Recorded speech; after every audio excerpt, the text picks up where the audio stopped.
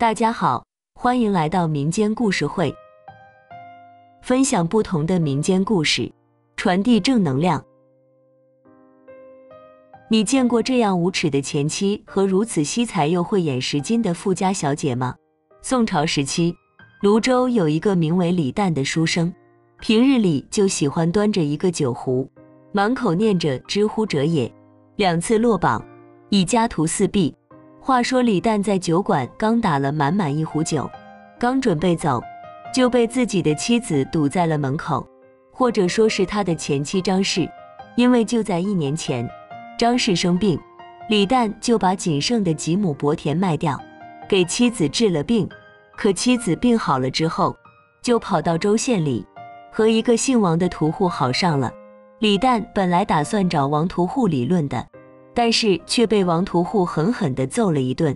那时候，王屠户还拿着屠刀威胁李旦，说若是再敢来，必让其白刀子进去，红刀子出来。从那以后，李旦就像变了一个人，不再有书生的拘谨，反而像是一个地痞无赖。被自己的前妻堵上，李旦面色微微一变。哎呀，这不是我的李旦哥哥吗？干嘛又来酒馆赊酒账了？关于李旦和这位张氏之间的故事，周遭的人们都知道，二人的对话也是听得清清楚楚。很多人甚至凑到前来看热闹的。李旦没有说话，只是呵呵一笑，冲着张氏微微一施礼。刚抬起头来，一道清凉顺着自己的头顶灌了下来，顿时周遭传来阵阵的哄笑声。张氏从柜台上摸了一壶酒。就这么的从李旦的头顶灌了个透心凉，随后丢给掌柜几个铜钱，和掌柜说：“今儿这顿酒，他请了。”李旦没有说话，只是脸上泛起了一抹淡淡的笑意，冲着掌柜一伸手，尴尬的说道：“因为着急，我忘了劳烦掌柜的了。”那掌柜摇了摇头，从柜台里边拿出了一些纸货来交给了李旦。随后冲着四周摆了摆手，连着说了几声“散了吧”。此时看热闹的人们才想起，今天是清明节。李旦一转身，一声不吭的走了，身后还追着一个不停喊着“举人大爷”四个字的疯子乞丐。再看那张氏，见李旦一点脾气也没有，反倒柳眉倒竖，指着李旦的背影，大骂道：“李旦，老娘总算是没看错人。”你就是个窝囊货，还想考举人？做梦去吧！走出了闹市，归入了深山。李旦拎着酒壶来到了一座坟前，开始焚香烧纸，在父母的面前依然沉默，什么话都没说。烧完之后洒了酒水，剩下的一股脑的给灌了下去。没走几步就有点腿软，也不知道走了多久，李旦突然被脚下的一个什么东西绊倒。眯着眼睛，晕晕乎乎的看到，绊倒自己的原来是一个石碑。从石碑上看，似乎也是有些年头了，貌似是谁家的墓碑。可此时的李旦则是费好大的力气，将石碑扶起，然后抱着石碑，开始痛哭了起来，诉说着自己这些年来经历的痛苦。名落孙山不说，又贪了一个不知恩图报的老婆。李旦哭着哭着就睡着了。然而，当李旦醒来的时候，天上已经挂起了毛茸茸的月亮，再加上春季的寒意依然在，李旦冻得浑身发抖。环手一眼之后，才想起白天的事情，长叹一声，还不忘在那石碑下赔点土。随后大步的向着家的方向走去。李旦回家刚点燃油灯，肚子就开始咕咕叫。随后就开始张罗着做饭，正恰此时，院门有人敲响。李旦开始琢磨，自家那可是好久没有客人了，而且还是大晚上的，这人是谁啊？打开门后，只见一个身着读书人衣袍的男子背对着他，还顶着一把黄纸伞。这人听到李旦打开门的时候，慢慢的转过身来，冲着李旦微微一施礼。小生王陵见过这位兄台。李旦见眼前也是个读书人，而且脸色略显苍白，衣衫短薄，本以为是冻的，便急忙的让了进来。还取出了自己几件破衣服，让那自称王陵的人披上。王陵也没有拒绝，只是还手了一眼周遭，脸上难掩的闪过了一丝笑意。李旦见状，尴尬一笑，说：“寒舍家徒四壁，如今也唯有几个窝窝头来款待他。”随后，李旦就问起王陵为何来此，敲了他门。王陵说自己是百里之外的一介书生，本打算云游四海，从大自然界找寻一点灵感，为以后的仕途做些许准备。可惜在路上的时候丢了盘缠，所以来李旦家借宿一段时间。这李旦一听对方的来头，一下子就来了兴致，毕竟都是读书人，又有共同语言。李旦急忙答应了下来，让对方留在自己这里。可惜自己没有钱，否则的话，自己还真的舍得好酒好肉招待这位远方而来的朋友。二人一边啃着窝窝头，一边开始谈论起了文学方面的心得。这一谈不要紧，直接颠覆了李旦的认知。要知道，在李旦看来，除了那李举人之外，在泸州也最属自己有才华了。虽然说自己也不过是个秀才，而眼前此人那可不一般啊！重新颠覆了自己的认知。就这样，二人彻夜相谈，李旦竟然不觉得困倦，拿来笔墨做起了笔谈，将二人之间的谈话要点记录了下来。这一谈不要紧，直接谈到了中午。李旦一看这样不行，便嘱咐王玲在家里等着，自己弄点酒肉来。只因为那酒馆的掌柜是自己的父亲生前的挚友，所以李旦也很轻易赊到一些肉食酒水。归来之后，二人就这么继续谈论了起来。不过话说回来，人不能总这样。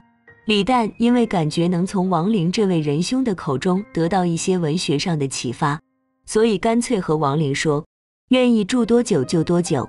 可是两个人总归要吃饭的。所以李旦逐渐变得勤快了起来，人也变得精神了不少。白天砍柴卖钱，卖了钱之后，就带着一壶酒和花生，要么是猪头肉，就回了家。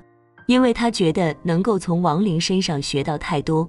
偶有一日，一场少见的春雪来袭，王林望着窗外，以春雪为题，低吟了一首诗。这首诗的内容非常的凄凉，让人听了不禁感动落泪。不过李旦只是顺耳听了一次后，便是继续出门劳作，冒着大雪砍柴去了集市上。因为在李旦看来，这雪天的柴火才能卖更好的价钱。可有意思的是，雪天里大街上却少有人来往。李旦实在冻得不行，就窝在了一家富贵人家的墙下避风。可就在这个时候，一个丫鬟从院内走出，看到了李旦。不禁双眸一亮，把李旦喊了进来，要买下李旦的柴火。二人讨价还价之下，李旦也算很是满意的卖了个好价钱。丫鬟取钱的时候，李旦无聊之下，就在一处空白雪地上，将王陵的那首诗给写了上去。后丫鬟送来了钱，李旦便离了开去，直奔酒馆。可不多时，一名身披白色狐皮大衣。年龄大概在十七八岁模样的女子走了出来，路过此地，就在转身回眸的那一瞬间，看到地上的那首诗，不禁念了几句之后，水汪汪的双眸不停地流转，显得十分开心，便开始打听起了是谁写的这首诗。可这次李旦回去之后，却没有见到王林，不禁心中有点不快，因为这段时间。李旦已经将其当做了朋友，或者说兄弟。毕竟王林的才华可是自己今生少见和佩服的。可就在这个时候，却发现王林给自己留下了一张纸，纸上写着王林的一些故事。王林在纸上写着，他本是前朝的一名进士，只因为得罪了权贵被诬陷而死，后来被亲朋葬在此地，自己心存不甘而一直未曾轮回。再后来发生战乱，估计亲朋也死掉了，自己的坟前别说烧纸了，就连被顽皮小儿踢倒墓碑，都没人帮自己扶起。而那天自己墓碑却被李旦扶起，自己又见李旦虽痴迷文墨，但是却少了机缘。作为感谢，自己便追寻而来，助李旦开了那文窍。而李旦对自己关照，也让自己对执念的释然。王陵准备轮回转世，虽有不舍，但是却阴阳两隔。若有来世，倒是希望与李旦成为兄弟。李旦看完纸上的那些内容，顿时心生愧疚和不舍，将自己带回来的酒肉带到亡灵的墓前，亲自为其祭祀，自己还抱着亡灵的墓碑，自言自语的说了一大堆心里话。自那以后，李旦的日子逐渐的走上了正轨，身上也是因为卖柴攒了些钱财，晚上的时候。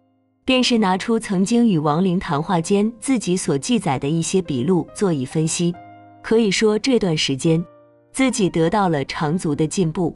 夏天之后，柴火已经很难卖了，可李旦也就这点本事。有一天自己的柴没有卖完，不由自主的再次游荡到了那家大户人家的房檐下避雨。恰此时，两名女子顶着雨伞从外面归来，从穿着打扮来看。这两名女子应该是主仆二人，可二人在见到在墙下避雨的李旦的时候，便停住了脚步。接着，那丫鬟打扮的女子走来，打量了几眼眼前的李旦，把李旦看得有点发毛。对对，就是你。入春之后，是不是你给卖到我家的柴火？还提了一首诗。对于卖到这家柴火的事情，李旦倒是记得。但是提诗的事情自己倒是忘了。忽闻那名主人打扮的女子吟起那首诗的时候，李旦才想起，便点了点头，冲着那名女子一拱手，倒显出了几分书生大度来。随后念出了诗句的后几句来。然而这个举动，却让那名女子脸颊莫名的一红，还夹杂着几分羞涩，快步步入了自家院子，弄得李旦一头雾水。更让李旦摸不着头脑的是，那名丫鬟竟然问了自己的生辰八字和住址。回到家的李旦一如往常的苦读。翌日早晨，李旦刚出门，就被几个下人打扮模样的人堵上。这几个人为首的是一名身着锦衣缎带的中年人，中年人身侧则是一名模样很不错的美妇。这二人应该是夫妻。随后，这二人不管三七二十一的直接闯进了院子，环守周遭一眼后，似乎有点不满意的样子。接着一招手，身后的一众下人呼啦的一下，搬着很多用红色丝绸包裹的物件进了屋里。我虽不知道我家那丫头为何能看上你，但是从小很挑剔的她，应该有她自己的道理。来人不是别人。正是州县里的最为富有的田财主，他说自家姑娘不知道看上了李旦哪一点，但是终究是依了自家姑娘。临走的时候，就把这些嫁妆给丢下了。这种架势着实将李旦吓了一跳，弄得李旦一时间手足无措，好几天没有出门。直到有一天，李旦家的院门再次被敲开，来人不是别人，正是田家的大小姐田真真。田家大小姐在丫鬟的陪同下步入李旦院中，似乎对李旦家的任何东西都是很好奇。出于礼数，李旦把田家小姐让于屋中后，说出了自己的心里话，无非就是自己已经是离婚人士，而且家徒四壁，又没有什么功名。但是田家小姐却一点都不嫌弃，生怕再步入了前尘，李旦便说出了以前的种种遭遇。这田真真也是那种识大体的人，要李旦这次秋闱之后，无论高中与否，一定要娶自己。眼看自己推脱不了，李旦便应了下来。不过在李旦看来，这正是自己所想，德不配位。若是自己依然不中，对于田真真这位痴情女也是不公的。就这样，夏日一过，秋日已至，这一段时间，田真真也是经常过来看李旦。同时难免会带一些钱财来，李旦却没有收，这倒让田真真对其更是高看了几分。直至秋闱的那天，田真真百里送李旦参加乡试，离开的时候，李旦冲着田真真深深的鞠了一躬，便消失在了秋风里。秋闱过后，李旦归来，虽显风尘仆仆，但是第一件事却没有回家，也没有去田家，而是再次买了酒肉祭拜了亡灵，随后拿起了斧头，继续做起了砍柴的营生。路上的人们都在指指点点，多是谩骂，因为在他们看来，这李旦何德何能，竟然能够受田家大小姐青睐。毕竟人性这个东西就这样。然而酒馆掌柜却依然笑脸相迎，酒多打几钱，肉多割几两。可有那么一天，李旦说要请掌柜的吃饭，掌柜的一听也是高兴，二人围坐了下来，也是坦然。掌柜的道起来自己与李旦的父亲的一些经历，李旦和掌柜的谈起了今年的奇遇，二人笑中有泪，也是畅快。哟，这一看就是有钱了，还请掌柜的吃饭，吃软饭可不是你李旦的性格啊！这话音里边尽是嘲讽和酸味。李旦不回头也知道是谁在嘲讽自己，只是随手指了指放在酒馆门口的柴火。李旦说自己也不过是换点酒吃，让掌柜的陪自己，从来不反驳自己的李旦突然说出这么一句，前妻张氏不禁呵呵一笑。刚上前欲要再次嘲讽的时候，一道香风过后，却被另一道亮丽的身影挡在了前面。你敢再说一句，你信不信我让人打你的嘴？田家的大小姐，那可是出了名的温柔漂亮女子。可以这种场合，这种气势出现，确实出乎了众人的所料。正当人们都围在这个是非多的酒馆门口，想要继续看热闹的时候，那名经常游走在附近的乞丐冲上前来，冲着李旦不停的行礼鞠躬，不停的喊着“举人大爷”四个字。正当众人纳闷的时候，阵阵唢呐声隐隐传来，人们循声望去。只见一队身着红衣喜庆的队伍向着这处赶来，不一会儿到了近前，那报喜的头头宣读了礼部的宣诏之后，便是冲着李旦一施礼。正当人们呆愣之时，多经风霜的掌柜的急忙从柜台里翻出了一些银两，将其拉在了一旁，送了喜钱。这时候的人们才反应过来，一改看热闹的态度，纷纷向着李旦祝贺。可此时的李旦却冲着掌柜的跪下行了一礼之后，拉起了望着自己一脸笑意的田真真的手，消失在了人群当中。那一年，王屠户生怕得罪了举人大爷，将张氏赶出了家门。